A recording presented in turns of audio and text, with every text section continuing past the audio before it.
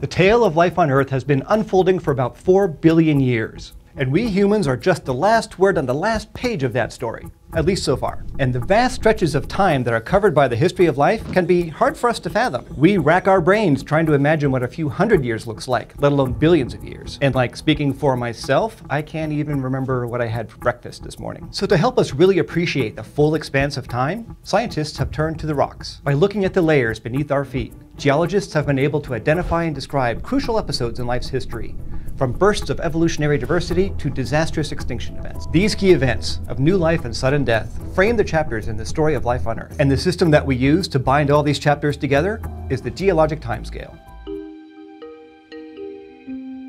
First, let's talk about the history of geologic time itself because figuring out how to read history in rocks was not easy. For much of human history, of course, we had no idea how old the Earth was or what actually happened in deep time or what happened in what order. But in 1669, Danish scientist Nicholas Steno published the first laws of stratigraphy, the science of interpreting the strata, or layers of rock, in Earth's outer surface. Steno argued that the layers closer to the surface must be younger than the layers below them. So the farther down you dig, he thought, the older the fossils are that you find there. Sounds legit, right? But in Steno's day, when some people thought that fossils had literally fallen from the sky for some reason, this was a pretty revolutionary idea. Building on Steno's ideas, Italian geologist Giovanni Arduino went a step further and began naming the layers of rock. In the 1760s, Arduino studied the Italian Alps, organizing their layers based on their depth and composition. The lowest layers of metamorphic and volcanic rocks he called their primary layer.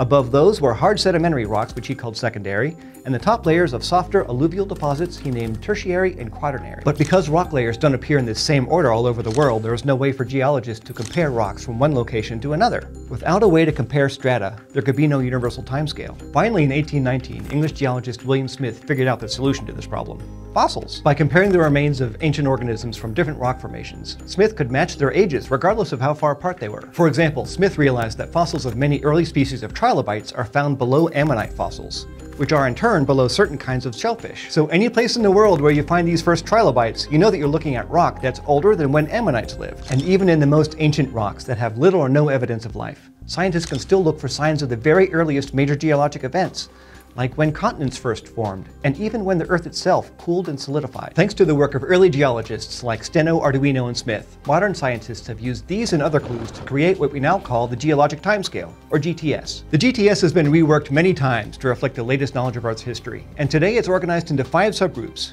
eons, eras, periods, epochs, and ages. Organizing time in increments like this allows us to ask questions about history on different scales, in the largest increments, like eons and eras, we can ask the biggest of big picture questions, like, was there life on Earth at this time?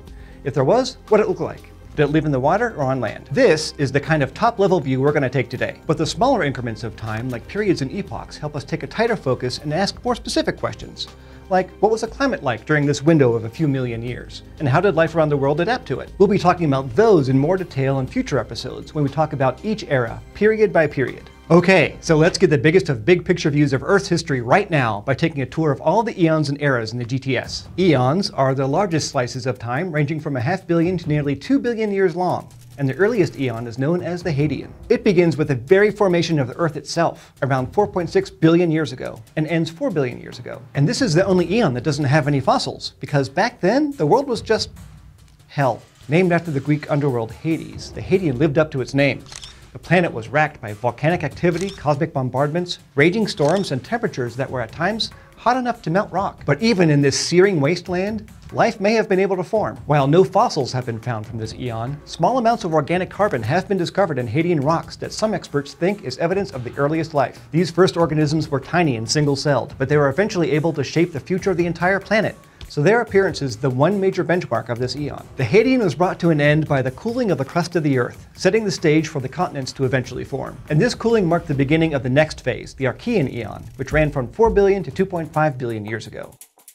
Named for the Greek word for origin, the Archean was once thought to be when the first signs of life appeared. But at the very least, it's fair to say it was the first time that life flourished, forming mats of microbes in the primordial seas. The fossils that these microbes left behind are called stromatolites or sometimes stromatoliths, and the very oldest of them, like those found in Western Australia, date from the Archean. During this time, the atmosphere was mostly carbon dioxide, But the appearance of cyanobacteria was about to change all that. Then, 2.5 billion years ago, the Archean gave way to the Proterozoic eon, meaning earlier life. And around this time, photosynthetic bacteria, along with some multicellular forms of life, spewed tons of oxygen into the atmosphere. This probably wiped out most of the anaerobic life on Earth, but it cleared the path for crucial new organisms, including the ancestral eukaryotes, whose cells each had a nucleus and organelles wrapped up in membranes. Eukaryotes developed into the first really big, complex, and sometimes kinda weird forms of life, such as the frond-like Charnia and the plate-shaped Dickinsonia. These new, larger organisms quickly diversified, and by 541 million years ago, we were at the doorstep of the next and current eon, the Phanerozoic.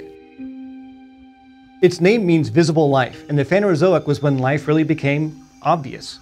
This is the eon that's home to trees, dinosaurs, newts, aardvarks, us humans, basically life as we know it. Whew, how you holding up? You doing okay? We've covered about three and a half billion years already. Just got another half billion to go, and then we're home free. Okay, now from here, it's best to explore the Phanerozoic eon through its eras, the next level down in the divisions of time.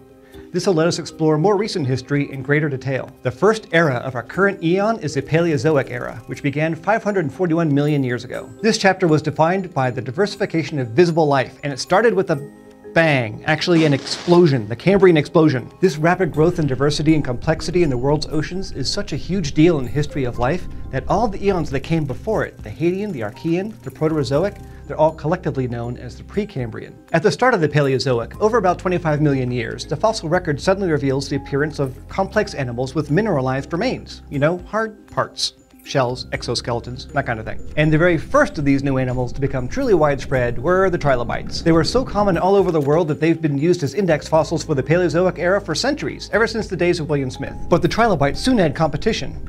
Fish developed teeth and jaws and came to dominate the seas, including the first sharks and armored giants known as placoderms. Meanwhile, the land, which had been barren since the formation of continents back in the Archean, was finally being populated first by plants and then by arthropods. By 370 million years ago, entire ecosystems had developed on primeval continents. Soon after, the earliest amphibians evolved and hauled themselves out of the water, leaving their first vertebrate footprints in the mud. 299 million years ago, the supercontinent of Pangaea had formed, with an enormous desert at its center. This desert was quickly populated by the ancestors of what would eventually become reptiles and mammals, which could thrive in dry conditions, unlike amphibians. But this time of incredible growth couldn't last forever, and instead, the Paleozoic era ended in cataclysm. 252 million years ago, 70% of land vertebrates and 96% of marine species disappeared from the fossil record, including survivors of previous extinctions, like our friends the trilobites.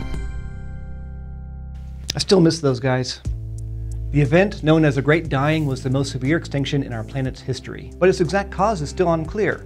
A possible meteorite impact off the coast of South America might be one clue, and in Siberia, layers of basalt show that massive volcanic eruptions covered large swaths of Pangaea in lava. Both of these incidents coincided with the end of the Paleozoic, and it seems more than likely that the extinction had many causes. In any case, the Paleozoic may have begun as a chapter defined by an explosion of life, but it ended in nearly absolute death. It took millions of years for life to recover, but when it did, a new world, the Mesozoic era, had arrived. This is often called the Age of Reptiles, and with good reason. Right from the start of the Mesozoic, reptiles were incredibly successful. This is when they took some of their most famous forms, like dinosaurs, pterosaurs, and a variety of marine species. In fact, all of the non-avian dinosaurs lived only in the Mesozoic, so they remain one of the best index fossils of this era. And many modern groups of organisms also evolved in the shadows of the reptiles, like mammals, frogs, bees, and flowering plants. But the Mesozoic era came to an end 66 million years ago, with yet another episode of devastation. This time known as the Cretaceous Paleogene or KPG extinction event. Like all mass die-offs, the KPG had many causes, but probably the biggest of them was a giant asteroid that struck the Earth, sending enormous amounts of ash into the atmosphere, blocking out sunlight, and creating a vicious cold snap across the planet. Without the sun's energy, entire plant communities died, and the animals that relied on those plants perished with them. Evidence of this impact can be found in a layer of iridium in rocks dating to the end of the Mesozoic. Iridium is an element that's rare on Earth, but very common in asteroids and comets. And a giant impact crater in the Gulf of Mexico, whose age matches the date of this extinction, has become the smoking gun for the asteroid hypothesis. The victims of the KPG extinction were some of the biggest reptiles of the land, sea, and sky, including all of what we now call the non-avian dinosaurs.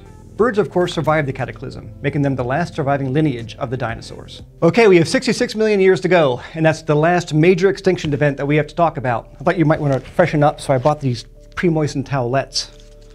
It's going to, you have some iridium here, on this side, on your forehead, other side. With all the great reptiles gone, the smaller animals that remained were able to eke out a living in the next era, the Cenozoic. This is our era, in more ways than one. It's the era that we're in today, and it also marks the rise of the mammals. Soon after the KPG extinction, the climate warmed, and jungles stretched across the planet.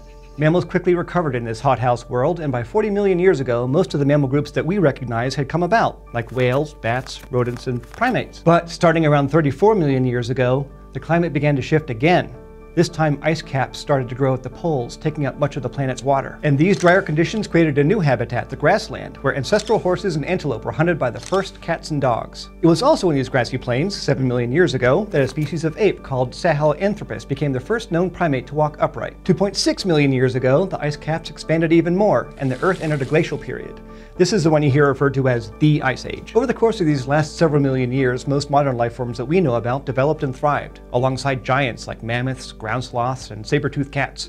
Once again, though, this era of diversity came to a morbid end. Starting around 15,000 years ago, the climate began to warm up, and over the next few thousand years, many of the giant fauna went extinct. By 11,700 years ago, the last major glaciation was over, and modern humans inhabited nearly all the corners of the globe. But how big a role we played in the extinction of the so-called Ice Age megafauna is hotly debated. Regardless, there's no escaping the fact that our species has shaped the Earth to its will since then. Like cyanobacteria and the dinosaurs before us, we've had a huge impact on habitats, other organisms, and the biosphere itself. And as we've learned today, today, it's the most dominant forms of life that define each phase of deep time. So even though our time on this planet amounts to the last word on the last page of the story of life, we are the authors of the next chapter. One day, the epoch of humans may be detected by the marks we make on the land, the traces of our cities and farms. And our very bodies will be the index fossils of this time. No matter how our chapter ends, we get to be characters in a truly amazing story.